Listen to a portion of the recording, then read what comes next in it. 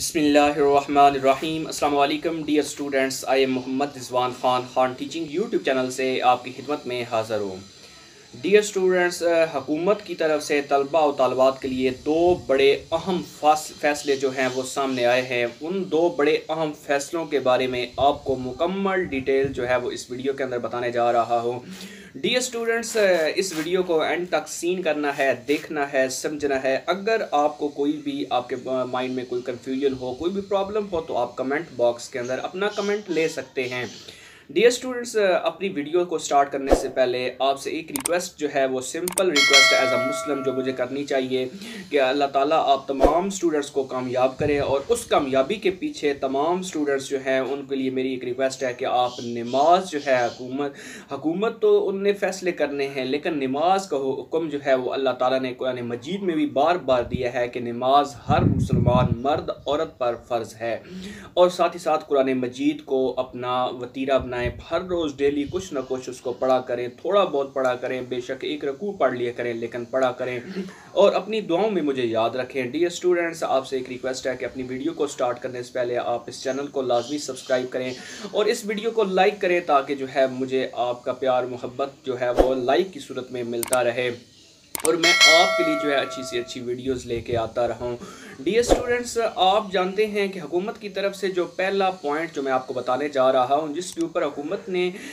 بزور جو ہے وہ اس کو کہا ہے کہ کمبائن ایگزام جو ninth tenth first year second year ان کے کمبائن ایگزام جو ہے وہ کمبائن امتحان نہیں ہوگا۔ یعنی یہ حکومت کی طرف سے جو ہے وہ ڈیسیجن سمجھ لیں کہ ڈیسیجن ہی ہے اور اہم فیصلہ ہے۔ اور اس کے بارے میں حکومت نے کہا ہے کہ ninth tenth first year second year کے کا کوئی امتحان نہیں ہوگا۔ دوسرا جو اہم پوائنٹ جو آپ سے میں شیئر کرنے لگا ہوں ڈی اسٹوڈنٹس وہ ہے آپ کے سلیبس کے حوالے سے۔ ڈی اسٹوڈنٹس آپ کو میں بتاتا چلوں سلیبس جو ہے نا کرونا وائرس کی وجہ سے جو پہلے کہتے تھے کہ چھٹیاں جو ہیں ان کی ایکسٹینشن ہو گئی ہے بورڈ ایگزامس جو ہیں وہ ان کے بارے میں پروموشن ہو گئی ہے۔ اب سلیبس جو ہے چھٹیوں کی بڑھنے کی وجہ سے سلیبس کے اندر کمی آ جائے گی۔ ڈیئر اسٹوڈنٹس ابھی سلیبس کی کمی کے حوالے سے ایسا کوئی ڈیسیجن نہیں ہوا ہے یہ ڈیسیجن ریڈکشن جو ہوئی تھی یہ انڈیا میں انہوں نے اپنے جو اسٹوڈنٹس ہیں ان کے لیے کی ہے اور ساتھ ہی ساتھ ڈیئر اسٹوڈنٹس آپ کو ایک پوائنٹ بتا دوں کہ سلیبس کے حوالے سے صرف اور صرف شفقت محمود صاحب کی جو پریس کانفرنس ہے اس میں ایک جو بات سامنے آئی ہے وہ یہ بات تھی کہ آپ تمام اسٹوڈنٹس چاہے وہ پرائیویٹ ہیں چاہے گورنمنٹ کے ہیں اسٹوڈنٹس جس تعلیمی اداروں میں پڑھتے ہیں چاہے ninth tenth first year second year جو بھی چاہے مطلب کہ پہلی کلاس سے لے کر up to so on and classes تک، اس میں تمام اسٹوڈنٹس کو ایکولیلٹی جو ہے نا ایکویلٹی رکھی جائے گی، ان کے برابری کی سطح پہ ان کا سلیبس جو ہے وہ متعارف کروایا جا رہا ہے۔ ڈی ایس اسٹوڈنٹس سے یہ بہت ہی زبردست جو ہے، یہ اعلان ہے کیونکہ تمام اسٹوڈنٹس کو ایکول رکھنا، یہ ہم سب کا بھی فرض ہے کہ ہم تمام اسٹوڈنٹس کو برابر سمجھیں۔ میں اگر آپ کو یہاں پہ ویڈیوز آپ سے شیئر کر رہا ہوں، تو میرے لیے تمام اسٹوڈنٹس جو ہے وہ برابر ہیں۔ برابر رکھیں گے تو اللہ تعالیٰ ہم تمام اسٹوڈنٹس کے اندر جو ہے ان کو کامیابیاں دے گا اور میری دعا ہے کہ اللہ تعالیٰ اس پاکستان کے اندر جو ہے وہ ہمیشہ